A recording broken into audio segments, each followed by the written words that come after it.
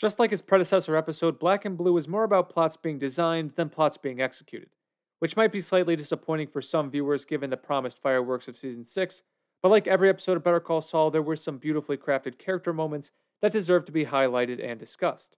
There wasn't one symbol I believe sums up the episode, so I'm going to take a more conventional approach to this analysis, just so I can cover what I want to cover. The episode begins with a visual callback to Breaking Bad. The precise scientific procedure, the liquid substance turning solid, it's very reminiscent of one of Walter's cooks. And playing over the creation process is a German song titled In Silent Night. I'll leave a link to the lyrics below if you want to check them out, but in short, it's a poem about mourning and sorrow, and it foreshadows the inclusion of Werner's widow, which I'll touch on later. Like most episodes so far this season, Kim was the standout for me, and I love what they do with her visually in black and blue. We ended last episode with Kim being let in on the Lalo situation by Mike, and he also tells her why she's getting that information and not Jimmy. Black and Blue develops those events with some pretty cleverly composed shots. When we meet Kim in episode 6, she's awake at 3:17 in the morning, which spells out lie if you didn't notice, and she's kept up by the threat of Lalo's return. Now in previous seasons, this was Jimmy's situation. He would constantly hide information from Kim, and then his conscience would give him a beating for it. But times have changed. It's now Jimmy who's in the dark, which is represented by this awesome shot. Kim's lamp shines, while Jimmy's remains off. And as the scene continues and Kim passes on yet another opportunity to tell Jimmy that they could be approached by Mr. Salamanca, she ends up sharing the frame with some dirty laundry. You gotta love how they build sets in Better Call Saul. The attention to detail is second to none. So that is the informational aspect of Kim's current situation, but she has also taken Mike's words to heart about being made of sterner stuff. She's framed in a more powerful position in black and blue when she's with Jimmy. It begins with this shot here during their first scene together, but they really push this dynamic when Jimmy comes back from his prize fight with Howard. Jimmy rolls into the parking lot, and Kim is literally looking down on Jimmy from their balcony. And the fact that he comes home beaten up with an ice pack on his face, you can just hear her thinking to herself, what did he get into this time? It's sort of infantile and only confirms the sentiment Mike put forth. Kim's smoking and drinking habits are also reflective of her personal decay. She used to really only smoke and drink with Jimmy to let loose, but now she's doing both by herself, and she's doing it a lot. Even on her nightstand is an empty wine glass. So she's blazing her own trail, to quote Jimmy, but she's also becoming more indulgent, and I expect Jimmy will take notice of this at some point. Kim also has lunch with a former colleague at Schweikart, and there are a couple of unique images in that scene as well, we get this one multiple times, the showrunners love using it to establish this particular setting. but We also receive a shot of Kim's reflection in her coffee. It's a creative shot, and I believe it's communicating the fact that Kim's intentions at this reunion are not what they appear to be. There is another side to Kim that this woman cannot recognize. She only sees a brave lawyer who gave up barrels of cash to fight for the little guy, but Kim is working her the entire time for information on Sandpiper. The whole conversation is a fever dream for Kim.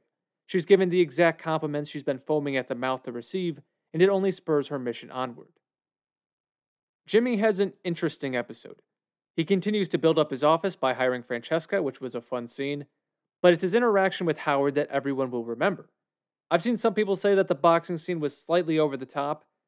I don't think it was personally, I just would have taken out the first person stuff. I thought it was a little bit too gimmicky and didn't heighten the scene's emotional weight, but I appreciate the psychological foundation. Howard has been on the defensive for years in his battles with Jimmy, so it's not surprising that he'd want to turn the tables and become Tuco for one night, especially after learning about the incident with Kim. And the fight itself is super fun because the styles coincide with each character's personality. Jimmy plays to the crowd and fights dirty, Howard is disciplined and fights clean. The most important question about the fight scene is the same question Jimmy asked Kim Why did I go in there? Why didn't I just go home? And I think the answer is that Jimmy has a lot of frustration deep down mostly as a result of Kim, that needed to be released. And Howard has already triggered one outburst, so Jimmy isn't as hesitant to let his guard down a second time. And on the possibility of Jimmy wanting to get caught by Howard, I think that's right. I think Howard's observation was right on the mark. I suspect Jimmy wants the Howard charade to be over so Kim can go back to the person she once was. Unfortunately, that's not going to happen. She's an extremely strong willed person who knows exactly what she wants, so barring interference from Lalo, Jimmy's going to have to watch her fade away. Before we move on to Lalo and Gus, special praise needs to be given to Patrick Fabian for his work as Howard. For me, Black and Blue was the best performance he's given in Better Call Saul.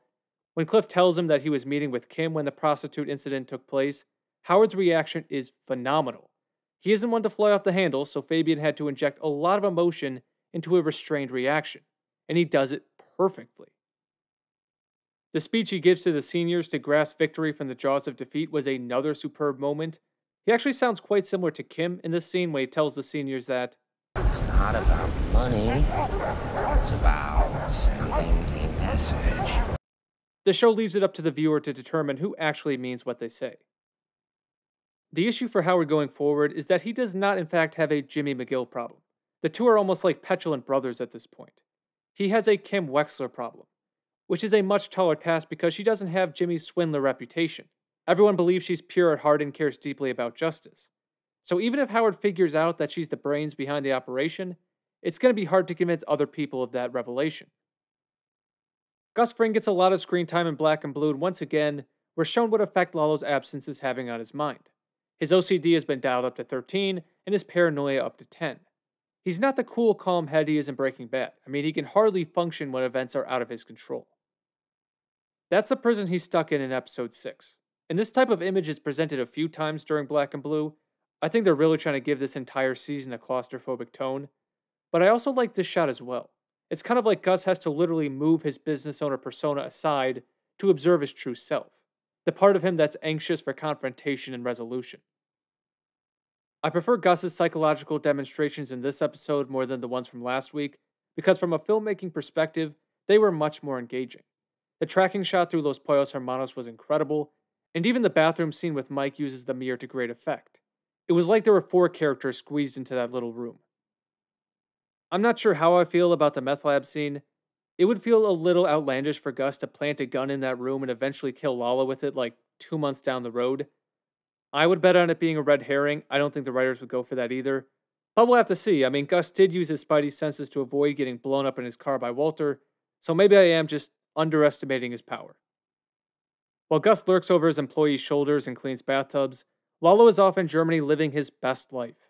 We've seen his charm within the cartel setting a number of times, but this is one of the only times we've seen his charisma utilized with a common civilian. And I'm curious to hear what people think about his time in Germany. The closing minutes were incredibly intense, but there's also a part of me that wishes Lalo was maneuvering back in Albuquerque with characters we actually know. Once a decision was made for Lalo to accept his status as a dead man, I think a lot of intriguing cartel political warfare was taken off the table. Now it is early. Perhaps Lalo will make it back to Mexico and talk to Eladio about what he's learned about the lab and Bolsa's connections with Gus, but it doesn't feel like those conversations are being set up. Hopefully, I'm wrong and Lalo is back in cartel territory before the midseason finale concludes. There is also a moment between Lalo and Werner's wife where she mentions that lawyers came by her house and cleaned up Werner's work documents, and Lalo just shakes his head and says, Lawyers. I think it's safe to assume who Lalo was thinking about at that moment. A meeting with Kim is being built up. It's just a matter of what mood Lalo is in when they finally meet. Will he be the patient, charming Lalo, or will he be the psychotic Lalo who's looking for quick resolutions? Believe it or not, we are almost halfway through season 6, and there is still a lot to wrap up, especially if they want to have some episodes dedicated to Gina Lone I've never not trusted these writers to stick the landing, but it might be tricky, so I'm hoping next week we'll see a couple plot resolutions. Make sure to like and subscribe on your way out if you'd like to see more Season 6 content from me going forward, and leave your observations in the comments as well. I'd love to see some things I may have missed. But thank you so much for stopping by. Have a fantastic rest of your day. I'll talk to you soon.